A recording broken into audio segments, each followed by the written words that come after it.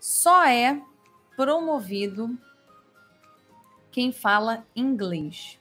Então, existe um, um mito, e muita gente traz essa questão comigo. E o fato é que quando a gente abre muitas vezes vaga no LinkedIn, aparece lá o raio da, da vaga lá falando que precisa ter inglês fluente. Aí fica parecendo que sem o inglês você não vai ser promovido. Como não é algo que é muito explicado, muitas pessoas acabam confundindo e acham que a descrição de cargo é uma coisa que, se eu tiver toda essa descrição de cargo, eu serei promovido, e se eu não tiver, eu não serei promovido. Vai chegar nessa linha de obrigatoriedade para você conseguir ou não. Só que o, esse, essa descrição de cargo, esse job description, ele é, na verdade, um norteador de melhores práticas para aquele cargo e que levam isso para fins de justiça. Só que o que, que acaba acontecendo ali? Na maioria dos casos, quando a pessoa é promo... quando a pessoa está ali dentro da empresa quer ser promovida, a gente vai acabar olhando em muitos momentos a descrição desse cargo. E para vários cargos, como hoje em dia, se você abrir no LinkedIn, vai estar tá lá escrito para muita coisa no LinkedIn que você precisa ter inglês fluente, ou que você precisa ter inglês avançado.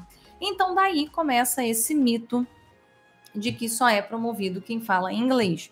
Além disso, dessa questão do job description, a gente, quando olha para a nossa história, a história do, do passado de 20, 30 anos atrás do mundo corporativo, sustenta esse mito. Porque vamos lá, o que, que acontecia 20, 30 anos atrás? Uma pessoa ter inglês era de fato considerado um super diferencial. A gente ainda estava no momento que a internet não existia, depois a internet passa a existir, mas ela é uma internet ruim, ela é uma internet que para você falar com as pessoas era muito arcaico e muitos livros, muitas questões técnicas não eram traduzidas para o português.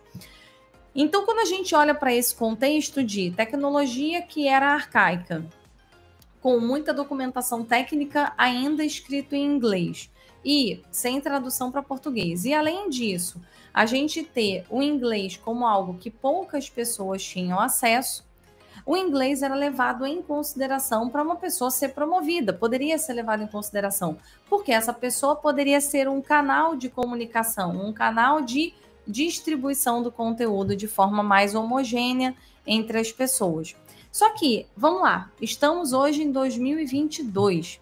E em 2022 nós temos muito mais tecnologia, o que faz com que, se eu não sei nada de inglês, eu entro numa página em inglês, eu tenho uma tradução ali simultânea e eu consigo ler. Não é a melhor tradução do mundo, mas me deixa entender minimamente o que está escrito. Além disso, o inglês sai um pouco desse diferencial quando todo mundo começa a fazer inglês, quando as escolas começam a implementar inglês, quando ter um cursinho de inglês passa a ser um padrão de mercado. E em terceiro lugar, o que acaba acontecendo é que hoje a gente também tem muitas traduções para o idioma português e muita gente de outros países que também já falam o nosso idioma, apesar da gente achar que não, as pessoas falam.